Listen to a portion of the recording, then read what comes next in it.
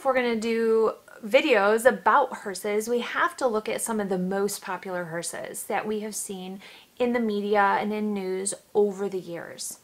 This may not have been during your lifetime, but these are the top 10 most notable hearses that have been out there. So, most recently, our number one, and these are ranked in no particular order, is Aretha Franklin's hearse.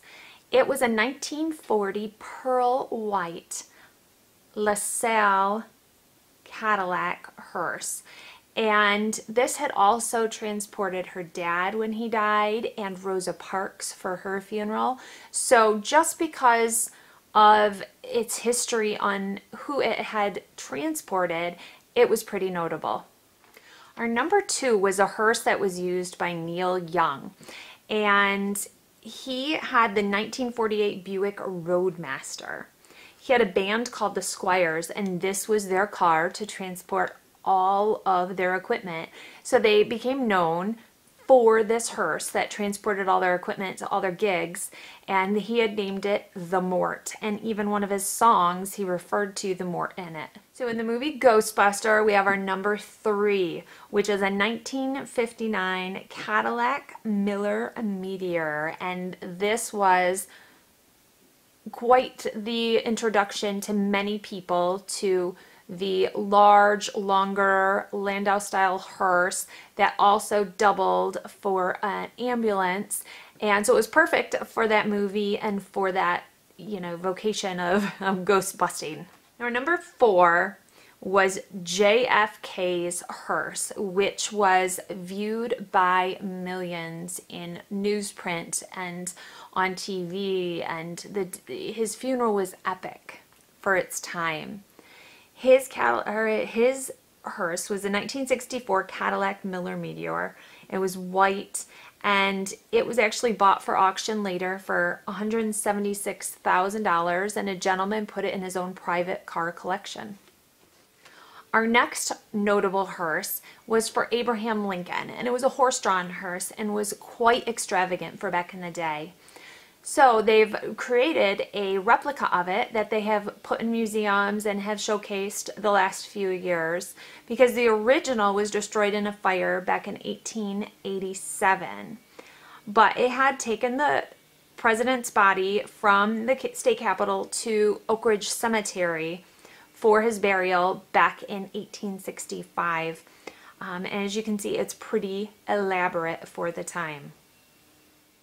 For all of you Six Feet Under fans, Claire Fisher's hearse is the next one on the list. It was a 1971 Cadillac S&S Victoria and it was quite gaudy in color with the green, but it made a prominent part in especially the first few episodes of the show um, when her and her boyfriend were in the back of it and when she was driving it around. And so most people that have watched the show will clearly remember that hearse.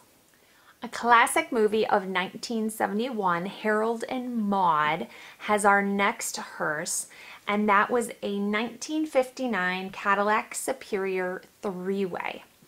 There was also a hearse in the movie, a 1971 Jaguar XK E 4.2 Series 1. And Harold in the movie had made one of these um, and kind of, you know, murphed two uh, cars together to create this hearse. But they were pretty epic uh, in this movie. A lot of tragedy is often surrounding some of these epic hearses that we're talking about.